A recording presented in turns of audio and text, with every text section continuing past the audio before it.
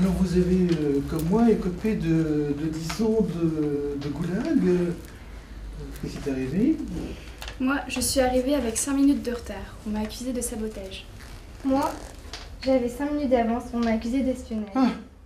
Et moi je suis arrivé à l'heure, où on m'a accusé de conformisme petit bourgeois. Jean-Michel Ganassia, bonjour. Bonjour, Bienvenue à la librairie Dialogue. merci.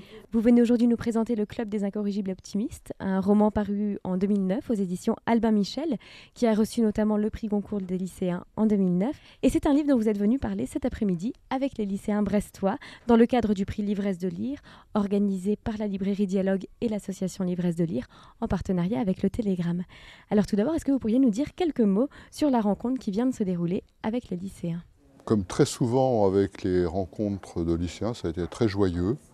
Un grand plaisir de rencontrer des lycéens et des lycéennes euh, euh, qui lisent, qui ont envie de parler de littérature, euh, qui ont posé plein de questions sur le livre, avec qui on a pu échanger. J'ai été très heureux de pouvoir leur donner quelques explications sur le roman, les écouter. Et ça m'a ramené quelques années en arrière.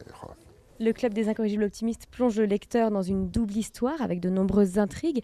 Est-ce qu'en quelques phrases, vous pourriez nous présenter la trame de ce roman? Alors, c'est l'histoire d'un. C'est roman qui se déroule de 1959 à 1965 à Paris.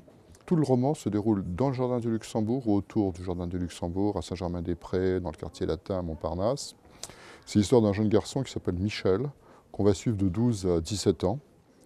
Et lui, euh, il va se trouver une famille d'accueil dans un bistrot qu'il fréquente où il va jouer au baby-foot après le lycée.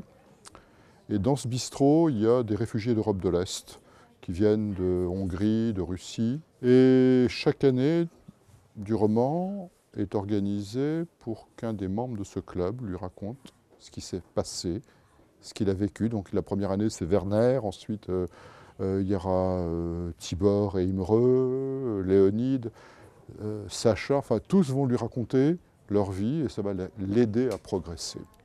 En septembre euh, 2012 est paru votre euh, deuxième roman, La vie d'Ernest Auger, euh, aux éditions Albin Michel, un roman qui raconte l'histoire de Joseph Kaplan, un médecin juif pragois. Et au cours de sa longue vie, il va rencontrer un personnage bien connu, qui est le Che. Alors pourquoi avoir choisi de mettre en scène Ernes- Ernesto Che Guevara? Pourquoi? Parce que j'étais tombé comme ça sur cette anecdote qui rapporte que Ernesto Che Guevara, après l'échec de la guérilla africaine, est allé à Prague, alors que c'était le dernier endroit au monde où il fallait aller, alors qu'il était gravement malade. Euh, il y est resté quatre mois, de mars à juillet 66. Et donc, on ne sait pas pourquoi il est allé là-bas, on ne sait absolument pas ce qu'il a fait là-bas.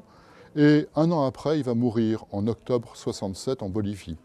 Et euh, Régis Debray a écrit que cette euh, guérilla bolivienne était une forme de suicide. Et je me suis demandé, c'était quoi ce, suicide Pourquoi on se suicide quand on a 39 ans? Et donc, euh, le roman La vie rêvée d'Ernesto Auger propose une explication euh, imaginaire, romanesque, à euh, cette aventure bolivienne et à cette conclusion dramatique de la vie de Guevara.